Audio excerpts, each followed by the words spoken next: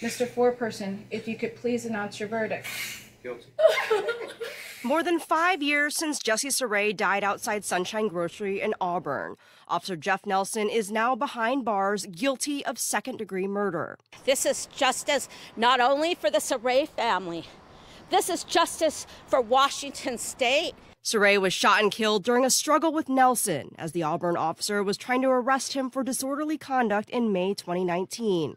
Prosecutors said Nelson shot Sarey twice, once in the torso and once in the head as Sarey was on the ground, while Nelson's defense said Sarey grabbed for Nelson's gun, the jury ultimately siding with the prosecution. It was probably one of the most validating to believe that the system works. According to the ACLU of Washington, Nelson is the first officer to be convicted of murder in Washington state for his actions while on duty. He's also the first convicted officer after voters passed I 940, which changed the standard by which officers can be held criminally responsible for their use of force. You know, when one impacted family wins, we all win. Today is a breath of fresh air in the right direction and I believe the jury made the right decision. I'm thankful for the jury. Sarey's biological mother and his brother have since died in the years waiting for Nelson's trial, but their supporters leaving this message for the Sarey family. We didn't give up on you.